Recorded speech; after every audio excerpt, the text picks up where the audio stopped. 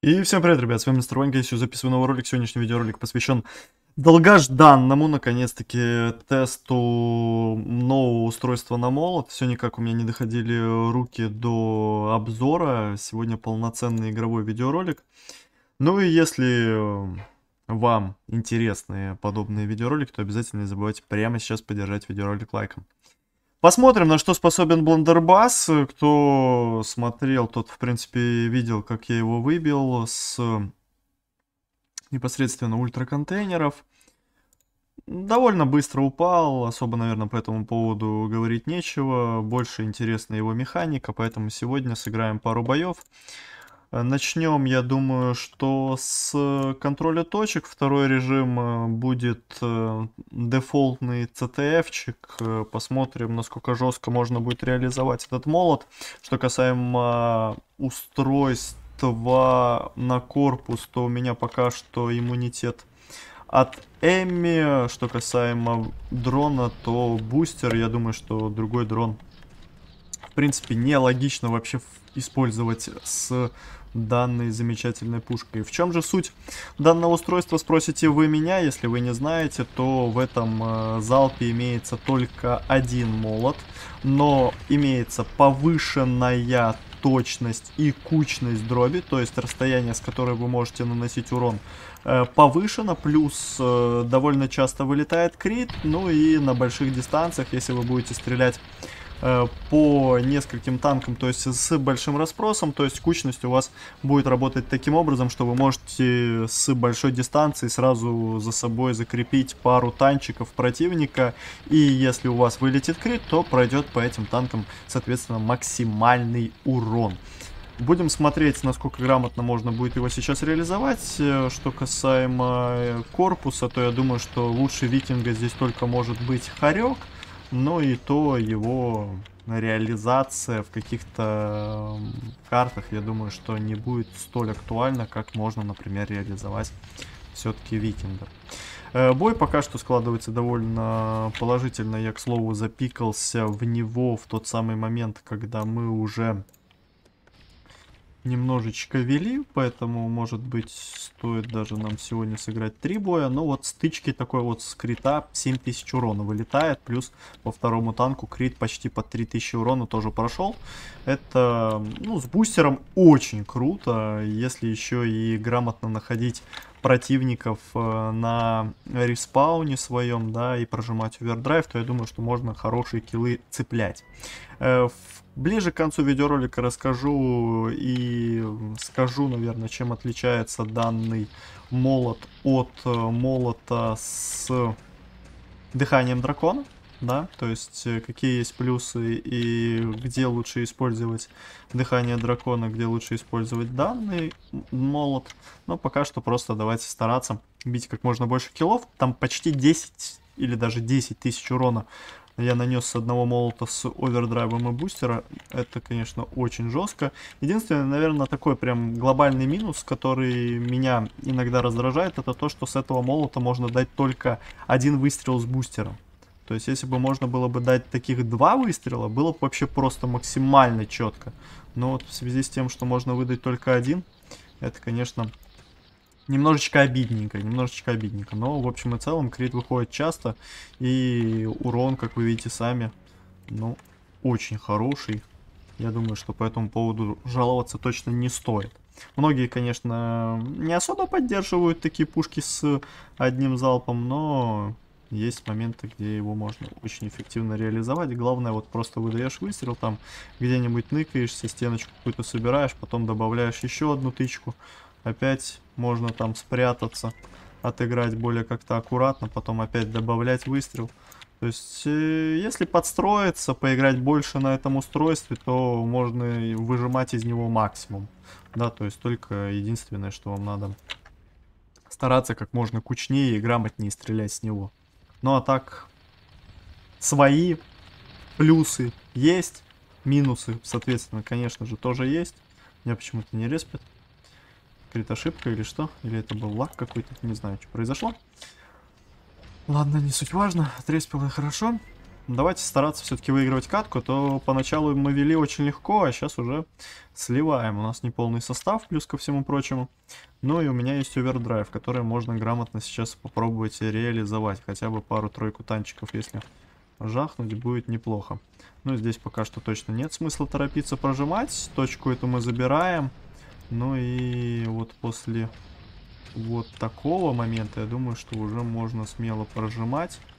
Еще бы Изиду зацепить неплохо. Три килла есть. Но это, конечно, не так много, но все равно лучше, чем я бы прожал бы с самого начала бы этот овердрайв. 16 киллов. Две минуты, нет, полторы минуты остается до конца. Попробуем здесь хотя бы 25-очку дать. Вот такие вот молоты заряжаются в легкую по 3,5 тысячи. По двум танкам сразу. Вообще очень круто когда такая темочка залетает. И тут сразу же, конечно, можно, понимая, что у противника мало хп, можно сразу тычку давать по следующему танку. Плюс есть возможность э, с этим устройством крита два подряд выдать. Есть устройства, на которых ты никогда не выдашь два крита подряд.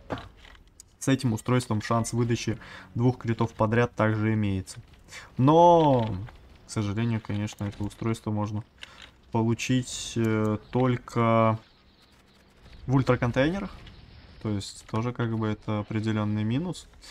Но если оно вам вдруг дропнет, или оно у вас имеется, то берите на заметку и можете спокойно брать его реализовывать. Так, мы проигрываем бой, у нас остается 20 секунд, и походу это не камбэчится, в связи с тем, что я упал в минус. Сейчас это уже, скорее всего, не реализуется. 20 киллов набиваю за бой. Не сказать, что много, но что касаемо данной определенной катки, два овердрайва было прожито. Если бы прожал бы больше, может быть, еще бы каких киллов 5 сверху можно было бы дать. Вот, например, в такой ситуации 4 танка спокойно можно было бы еще добивать. 21 килл, 470 очков. Не сказать, что сверх круто, но и не сказать, что совсем уж плохо.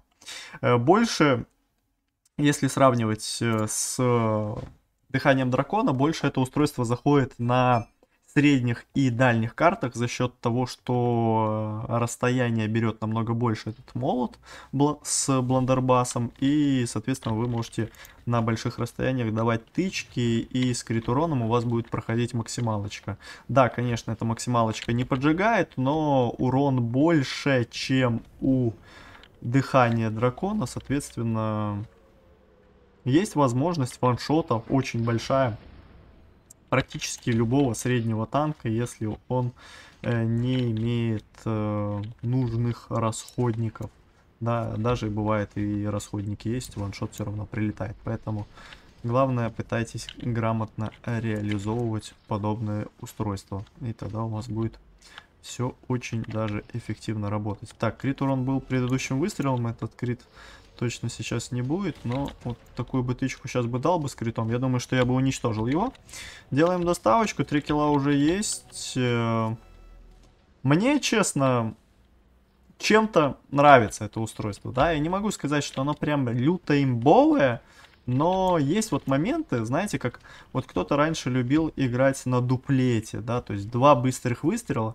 Вот это устройство, по сути, тот же самый дуплет, только у вас вылетает один выстрел. Плюс у вас еще повышенная кучность и повышенный крит шанс, да. То есть в сумме вы имеете еще более грамотное устройство с одним выстрелом. Да, и этот один выстрел перезаряжается, ну, буквально на чуть-чуть дольше, чем у вас перезаряжается молот. Когда у вас, например, имеется трехступенка, да, и вы даете одну тычку, потом вторую, то есть вы там тратите одну секунду, здесь вы тратите две секунды на следующий выстрел, но зато вы выдаете намного больший урон. Но если бы я бы все-таки э, выбирал для себя лично, в большинстве случаев все равно дыхание дракона, как по мне, показывает себя лучше, да. Но если, например, у противника иммунитеты от поджога, э, да даже защиты от поджога, да, плюс карта какая-то большая, да, то тогда я бы полноценно, если бы имел бы данное устройство, рассматривал бы его а не дыхание дракона. Но здесь уже есть свои определенные нюансы. Если они таковые имеются, то тогда вы можете уже и думать и играть на бландербасе. Ну и э, если вы привыкнете к этому устройству и будете ловить тайминги, когда противники стоят в кучке, то за счет кучности дополнительный с большего расстояния вы можете также уничтожать с одного выстрела там 2-3 танка, как у меня было, например, в предыдущем бою. То есть это тоже свой определенный, огромнейший, даже я бы сказал бы так, плюс, который можно грамотно реализовывать в свою пользу. Поэтому все зависит исключительно от вас, от ваших умений реализовывать и использовать подобные вооружения, пушки с не совсем стандартными устройствами, но к любому нестандартному устройству можно просто приспособиться и научиться на нем грамотно играть и грамотно его, конечно же, реализовывать. 16 киллов бью за катку, в которую я зашел в очередной раз не с самого начала. Киллы говорят сами за себя, да, то есть 16 киллов, вот такие выстрелы, хотел сказать, ваншоты залетают, но, к сожалению, ваншот не дал, потому что промазал и не дал полную дробь, но ваншотов реально много. То есть легкие танки шотятся, средние танки шотятся. Круто, круто, круто, что есть такая возможность. С бустером так вообще по 8, наверное, тысяч по джиггернауту можно наносить. Или даже по 10. Не, по 10 это было с бустером и с овердрайвом. То есть где-то, наверное, около 8 тысяч за выстрел можно наносить. То есть, ну, я считаю, что это довольно жестко. По 8 тысяч полной дробью. Я думаю, что это достойная тема. Вот сейчас 2950 дал по Викинга Молоту. То есть, соответственно, чуть-чуть не точно выстрелил. Вот сейчас 3700. Вот полная дробь 3700 вроде как наносит. Круто, круто, круто. Поэтому, друзья, если вы уме имеете данное устройство в своем гараже, если вы э, хотите попробовать что-то новое интересное, то определенно потестируйте, попробуйте данное устройство. Возможно, даже данное устройство в дальнейшем появится в продаже. Хотя, нет, наверное, не будет оно нигде ни в какой продаже. Но, в общем и целом, если оно вдруг у вас дропнет, и у вас оно появится, то покатайте, попробуйте. При правильной комбинации и использовании его я думаю, что можно получить лучший результат, чем с тем же дыханием дракона. Но для этого должны быть определенные условия. Ну и сами вы должны тоже уже полноценно привыкнуть к этому устройству, которое для меня лично ну, не является столь стандартным, и я не готов сходу, да, там, с первых минут выдавать на нем максимальный результат. Хотя я думаю, что на дистанции это можно делать и реализовывать. Если вам понравился данный видеоролик, если вы ждете новые игровые видосы, то обязательно не забывайте поддерживать данный видеоролик лайком, подписываться на канал, пишите комментарии, что вы думаете по поводу данного устройства, нравится ли оно вам, хотели бы вы, чтобы оно у вас было. Ну и пишите, возможно, вооружение, которое вы бы хотели посмотреть в дальнейшем. С вами был Мистер Ванька, всем, друзья, спасибо за просмотр, всем удачи и всем пока.